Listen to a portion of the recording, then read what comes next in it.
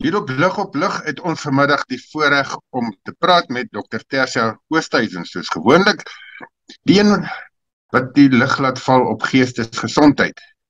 Maar vandag ook nog baie meer spesiaal het ons die geleentheid om te hoor wat Marisa Koleski daar van Pretoria se belewenis en ervaring is as 'n sielkundige. Middag julle twee dames, middag Tersia. Goeiemôre Willem en goeiemôre aan die luisteraars. Lekker om weer by julle te wees. Ja, middag Marisa, lekker om jou hier by ons te hê. Baie dankie. Willem, uh, luisteraars, ek gaan wegval om net 'n bietjie agtergrond te gee. Marisa is op die oomblik 'n uh, interne sielkundige en sy het sopas haar navorsing voltooi waar sy gekyk het na spiritualiteit as 'n beskermende faktor by vroue wat aan geweld blootgestel is. En sy het redelike interessante inligting gekry en bevindinge gemaak. En daarom het ons gedink veral omdat hierdie die lig op geestesgesondheid is dat dit dalk vir julle ook interessant sal wees om te sien dat spiritualiteit wel vir ons belangrik is ook as ons dink aan terapie of intervensie want ons werk met dit wat die kliënte na ons toe bring. Net om 'n bietjie vinnig julle weer te vertel wat die verskil is tussen spiritualiteit en godsdiens. Spiritualiteit is waar 'n persoon 'n spesifieke verhouding het met God en waar dit nie noodwendig gegrond is op die leerstelling van 'n spesifieke godsdienstige instelling of 'n kerk of wat ook al nie terwyl godsdiens dan nie net die geloof in God is nie maar dit behels dan ook die heilige geskrifte en dit wat 'n sekere denominasie of kerk dan voor staan. So Marisa, ek gaan dan begin en uh, daar's 'n paar vrae wat ek graag bietjie wil vra wat nou gaan van toepassing wees op jou navorsing. En soos gesê, jy het nou gedoen oor spesiale spiritualiteit, verskoning, as 'n beskermende faktor in vroue wat intieme verhoudings geweld ervaar het. Vertel ons 'n bietjie meer wat dit behels. Ja, Tasha, die doel van my navorsing was om 'n oorsig te kry rakende die wetenskaplike literatuur wat tans beskikbaar is oor spiritualiteit as 'n beskermende faktor. So om dit in ander woorde te sê, was my navorsingsvraag gewees, wat weet ons tans in die wetenskaplike literatuur rakende spiritualiteit as 'n beskermende faktor in vroue wat intieme verhoudingsgeweld ervaar? So daar is baie navorsing gedoen rakende geweld teen vroue En daar is ook baie navorsing gedoen rakende spiritualiteit as 'n beskermende faktor. Maar daar waar die twee met mekaar kruis, is daar nie baie navorsing gedoen nie. So om 'n oorsig te kry van die literatuur, moes ek gaan kyk het na al die navorsing wat reeds gedoen is rakende spiritualiteit as 'n beskermende faktor in verhoudingsgeweld.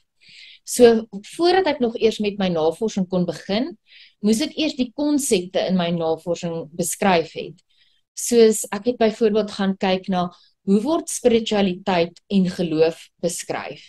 En wat is die definisie van intieme verhoudingsgeweld in die wetenskaplike literatuur?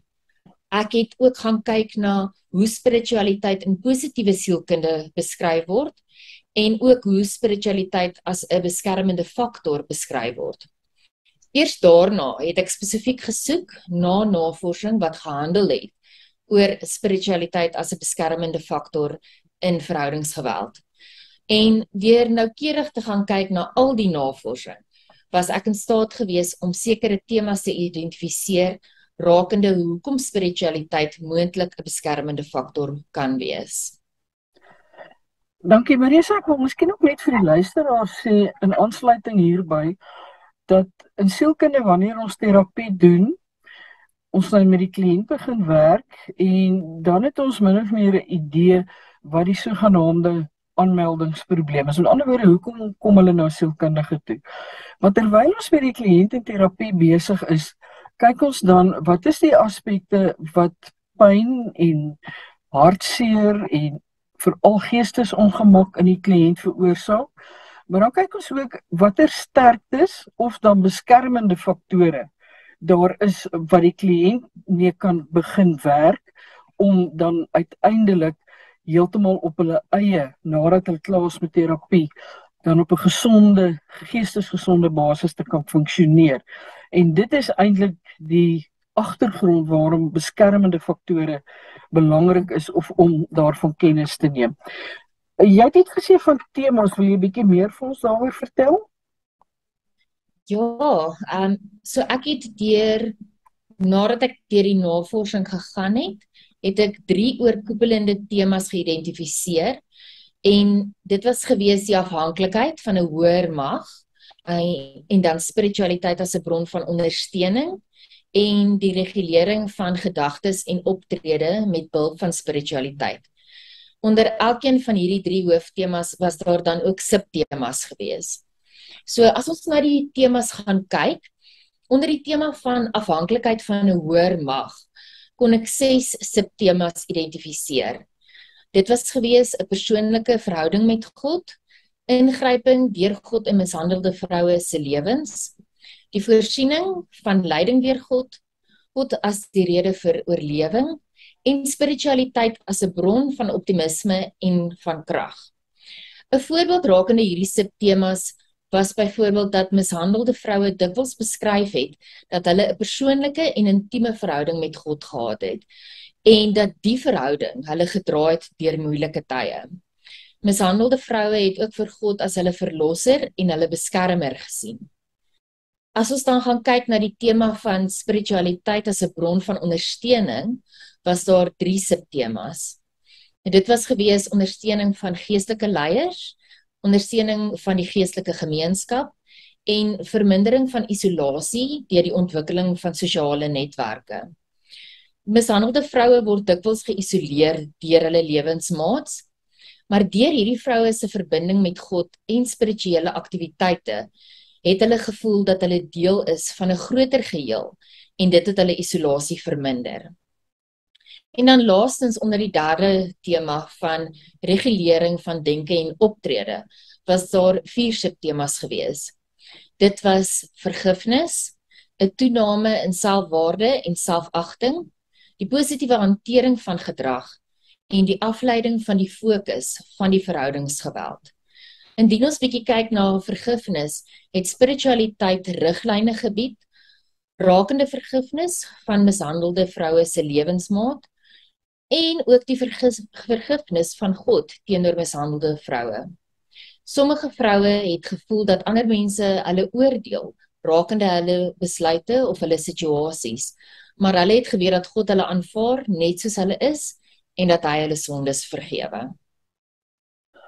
Willem, is daar dalk iets wat jy wil vra op hierdie stadium? Dit is my baie interessant dat spiritualiteit so kardinale rol speel in hierdie mense en ek wonder net of dit of hulle godsdienstbegrip meer intens word en in ehm um, meer uh verhoudingsgewys sterker na omdat hulle in hierdie situasie is of omdat hulle reeds in 'n goeie verhouding met God is en dan het hulle reeds iets om aan vas te hou in die situasie of gebeur dit maar gelyktydig en ek neem aan dat verskillende variasies want die want die een gaan uh, dit anders ter belewe en uit 'n ander hoek in lewensfaset kom in hierdie situasie in. Willem die navorsing het wel gewys dat ehm um, verskeie vroue aangedui het dat hulle verhouding met God baie sterker geword het gedurende tye waar hulle mishandeling ondergaan het. En ehm um, ek dink dit verwys terug na daardie intieme en persoonlike verhouding met God. Dat hulle geweet het ehm um, God is hulle verlosser, hulle beskermer uh, as hulle na niemand anders te kon draai nie, dan kon hulle na God toe draai en hy was daar gewees vir hulle. So daar was definitief 'n aanduiding gewees dat versekerde vroue hulle geloof versterk is in hierdie moeilike tye. Maar maar die basis was reeds daar gelê by die want hulle het iets om op voor te bou. Ja, ja, daar was reeds 'n basis gewees, daar was reeds 'n geloof gewees en ehm um, die moeilike tye het die geloof in God versterk. Ja, baie dankie. OK. Nou Marisa, jy het nou hierdie drie temas melding gemaak wat onder andere nou met die afhanklikheid van God te doen het en die ondersteuning en dan die regulering van die denke en optrede. Is daar nou van dit wat vir jou meer uitgestaan het of wat jy gedink het meer fokus benodig het in jou navorsing? Ek dink wat vir my uitgestaan het is hoe spiritualiteit mishandelde vroue se gedagtes kon reguleer.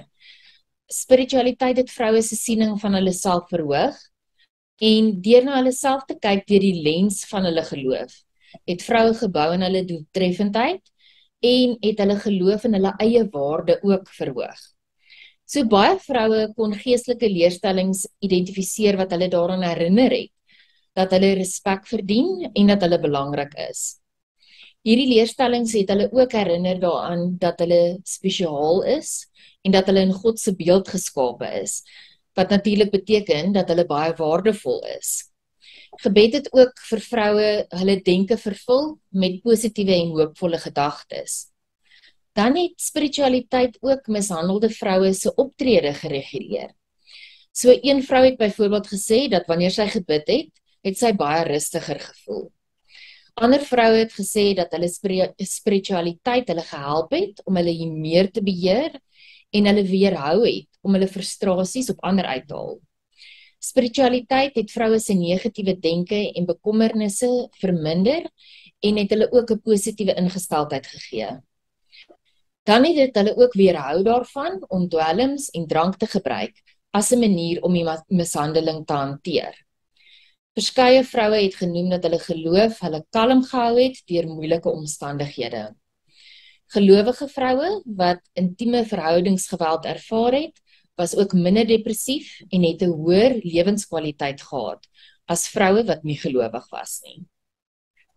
Dit is baie interessant dat jy dit noem want ons het byvoorbeeld nou in hierdie lig op lig baie keer verwys dat die rol wat selfbeheer en selfregulering speel.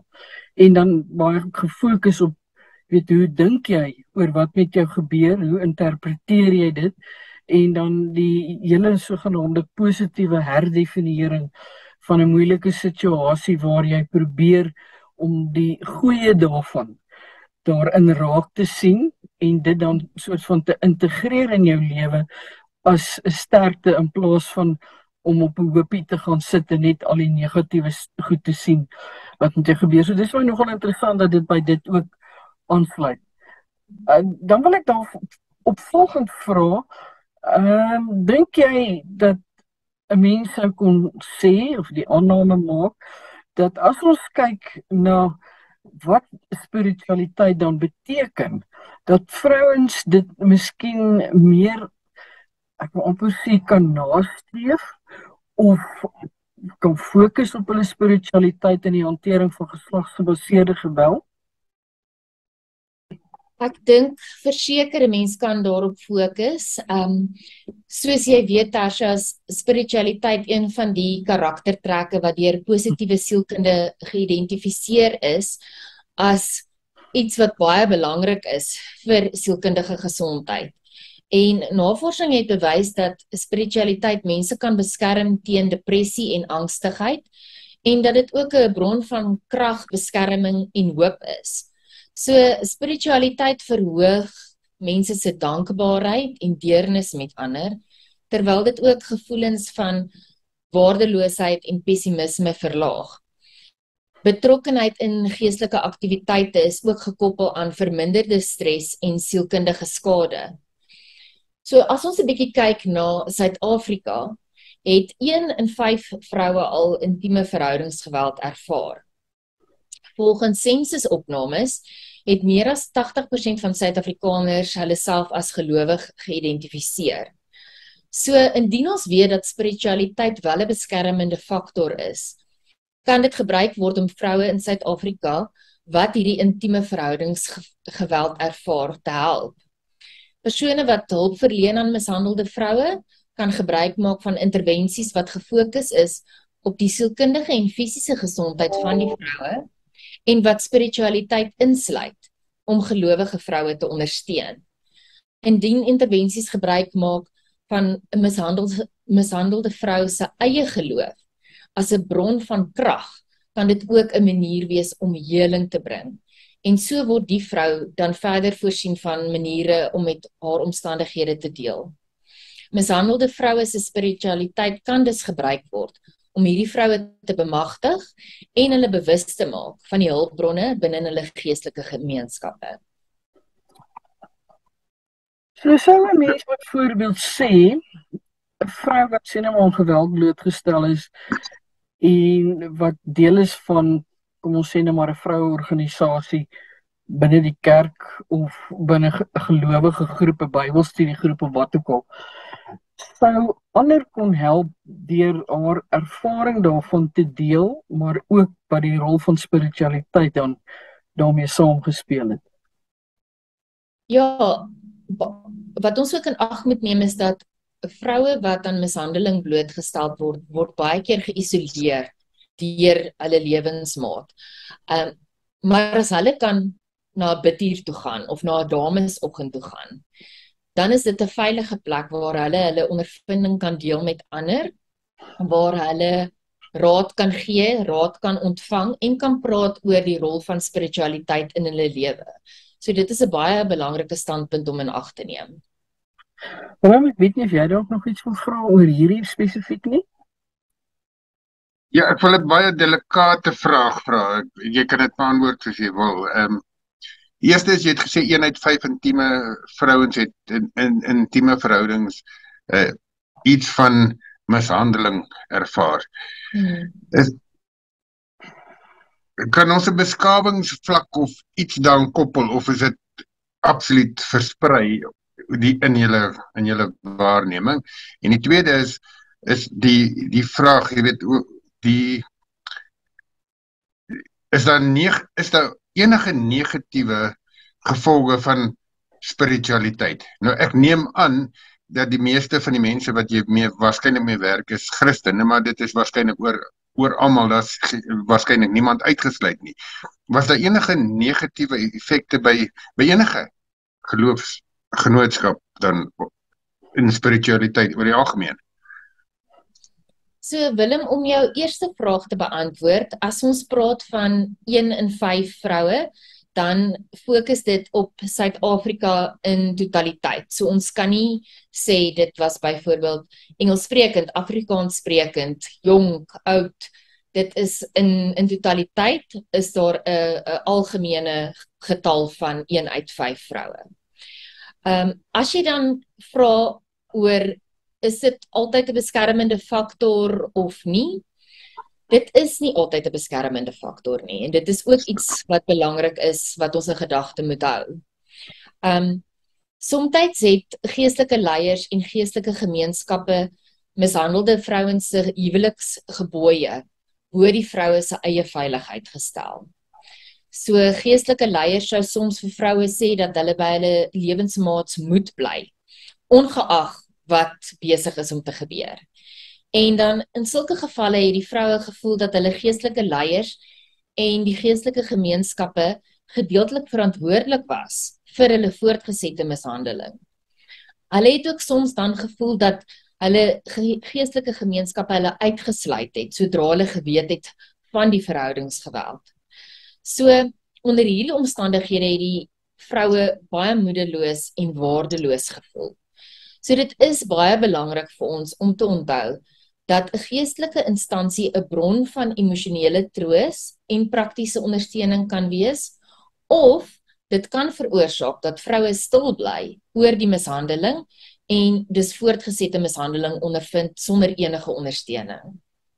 En dis eintlik erger want dan het jy nou 'n geloofskwessie om mee te hanteer om te weet waar jou waarde lê nê nee, want dis eintlik dan 'n dis dan 'n baie dis amper 'n beginsel be, oordeel wat jy moet dan moet vel. Dan sit nie net 'n morele of 'n of 'n kulturele gevolg, gevolg nie ja. En dis hoekom ek vra want ek dink baie keer kan die beskuldigings wat nie noodwendig net so konsekwent is nie, maar weet van uh, mans of van ouderdom of van sekere geloofsgenootskappe na vore kom met 'n gesag, met 'n autoriteit wat nie hoort by die situasie nie. En dankie dit dit was dit was ek het gewonder of dit erns sou deurkom.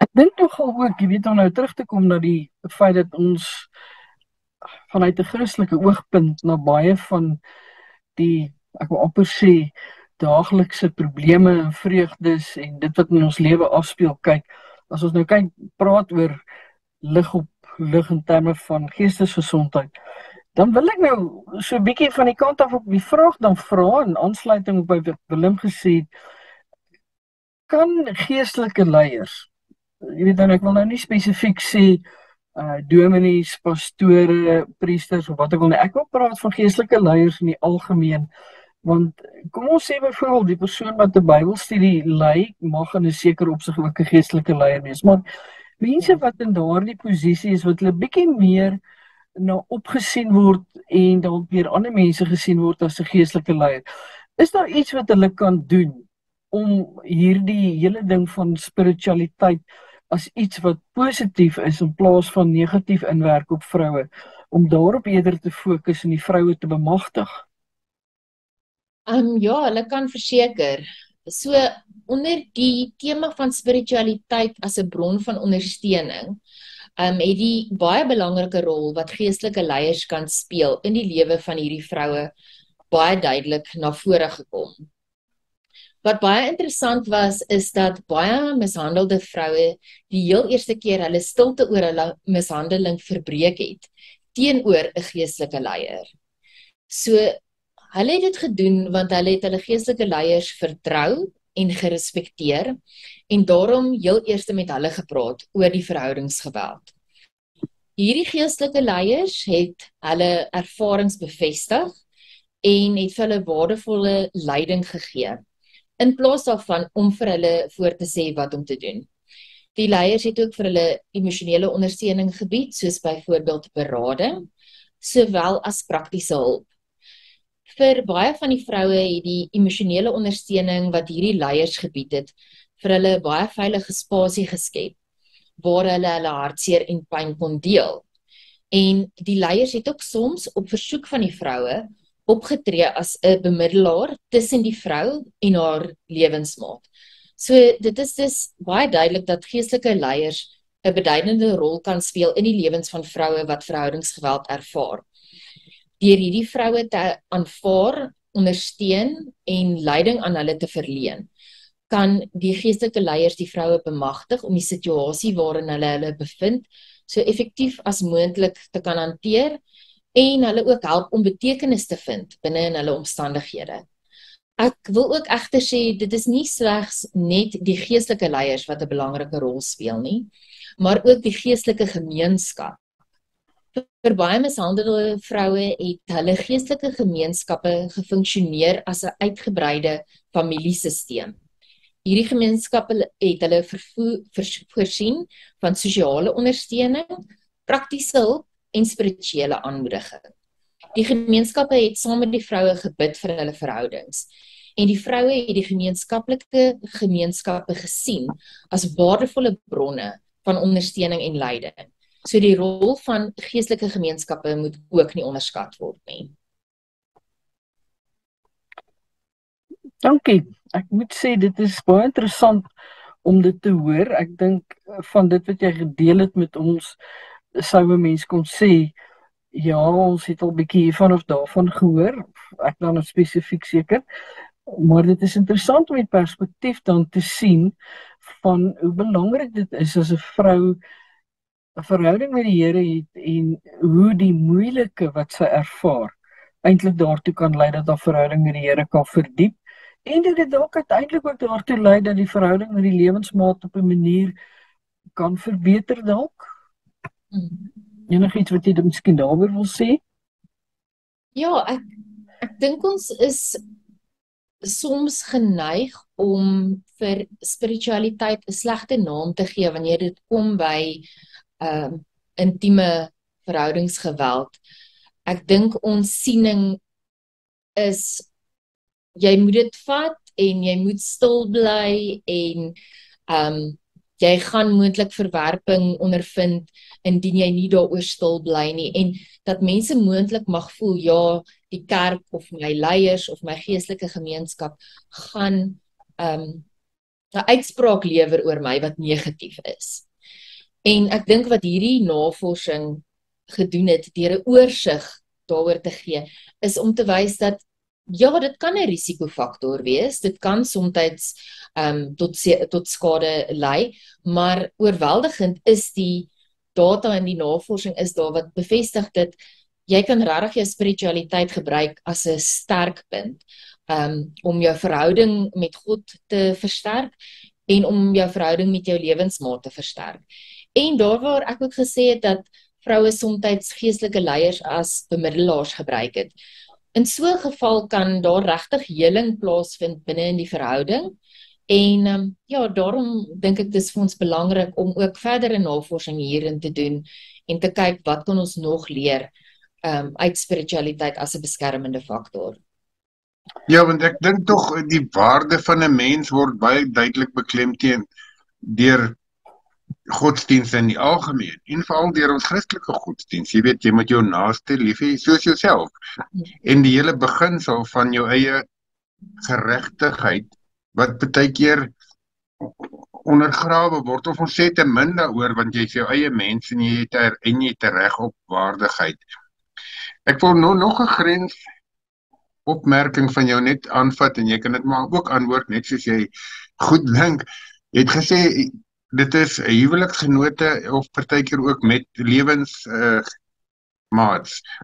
Is daar uh, uh, ek neem aan jy het nie veel van onderskeiding nie. Is daar by jouself 'n waarneming dat lewensmaats meer gemakliker heling of nie kry of nie kry as byvoorbeeld mense wat amptelik in die huwelik staan? So die navorsing waarna ek gaan kyk het het sekere in en uitsluitsels gehad. Ehm um, mens moet dit in plek sit anders te raak jou ehm um, scope, jammer vir my Engelse woord daar, mm. raak so groot dat jy dan heeltemal die navorsingsvraag naderhand nie meer raak sien nie. So my insluit kriteria was gewees enige vrou wat in 'n intieme verhouding betrokke was wat bo die ouderdom van 18 was. So dit het nie spesifiek geïdentifiseer die vrou moet getroud wees of dit kan vrouens wees wat saam met 'n um, lewensmaat woon nie. So hierdie navorsing het grootliks beide daardie twee tipes verhouding as ons dit so kan stel ingesluit. En ek ek wil net seker maak hierdie intieme verhoudings is dit spiritueel, geestelik, fisies, al die maniere. Ja, dit is ek dink om dit te beskryf as mense wat saam bly wat nie getroud is nie, maar wat in 'n verhouding met mekaar betrokke is. Hoekom ek vra want ek beleef dit dat ons lê baie klem op fisiese mishandeling of misbruik of uh uh van ja, of dit nou seksueel of fisies maak nie, maar hmm. ek be, beleef self dat baie van die antwoorde wat ek kry is op 'n ander vlak, jy weet, dit is geestelik, dit is ja. verbaal, dit is hmm. ja, psigies, dit is op baie uh, intimiderende subtiele maniere wat jy nie eintlik kan sien en waarneem nie. So jy het daai vlakke almal in aanmerking geneem. Ja. Aan die begin ehm um, toe ek begin praat het oor my navorsing het ek gesê dat die definisies van die hoofkonsepte baie duidelik verklaar moes word. En dit was om seker te maak dat ek sien nie verhoudingsgeweld as een ding en jy sien dit as 'n ander ding nie. So ek moes in my navorsing ook baie duidelik gaan spesifiseer het wat sien die wetenskaplike literatuur as ehm um, verhoudingsgeweld. Want ons is geneig as ons daaraan dink om te dink aan fisiese of seksuele mishandeling. Maar die realiteit is dis baie wyeer as dit. Dit kan finansiële mishandeling wees, emosioneel, verbaal. Ja, daar is 'n wye reeks kan 'n mens sê van hoe iemand mishandel word en selfs nie eers deur hulle te mishandel nie, maar om te dreig om iemand te mishandel is ook alreeds gesien as 'n um, geweld teenoor die persoon. So as ek praat van 'n um, intieme verhoudingsgeweld, dan sou dit al hierdie ehm um, tipes uh verhoudingsgeweld ingesluit het. Ek wil daarom net sê vir die luisteraars, ons praat nou met Marisa Koleski. Ja, sy is eintlik genooi deur ons gereelde gas, Dr. Tersia Oosthuizen, voorligting en bedryfsielkundige van die Noordwes Universiteit. En sy praat spesifiek met ons oor spiritualiteit by vroue wat in intieme verhoudings uh mishandel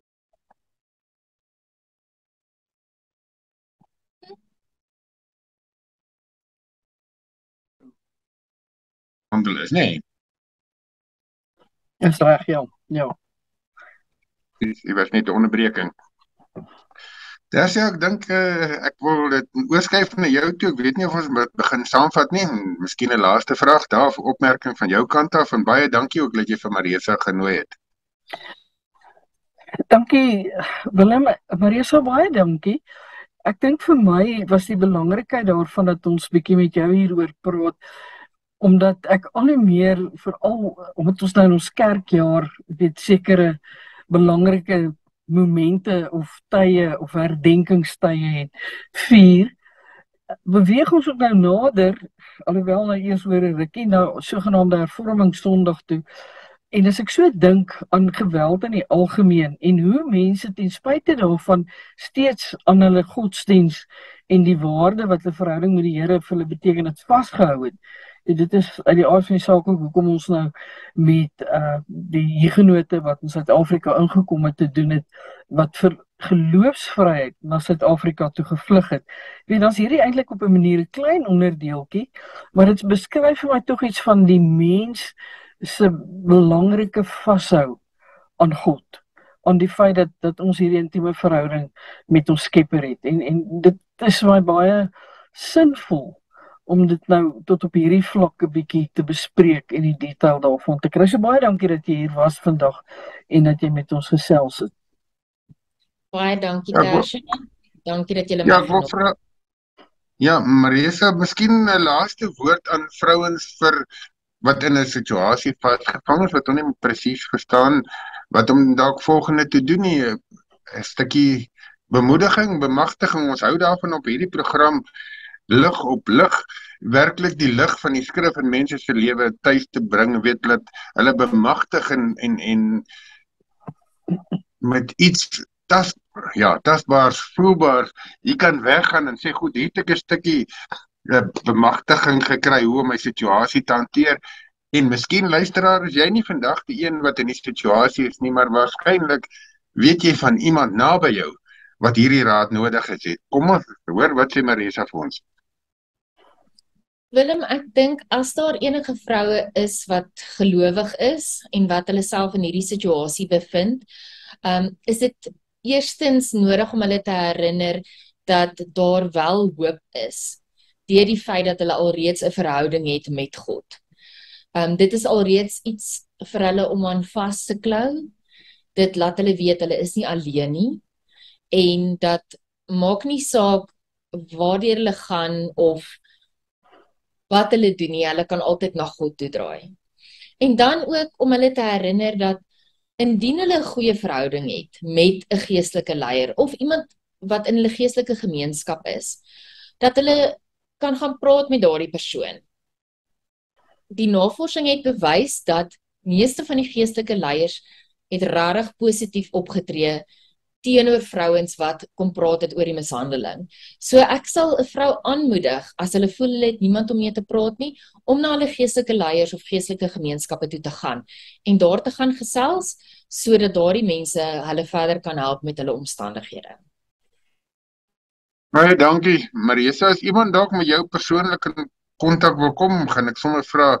Eerste, kom ons begin by Tersia. Tersia gee vir ons 'n nommer van jou en daarna gaan ek vir Marisa vra.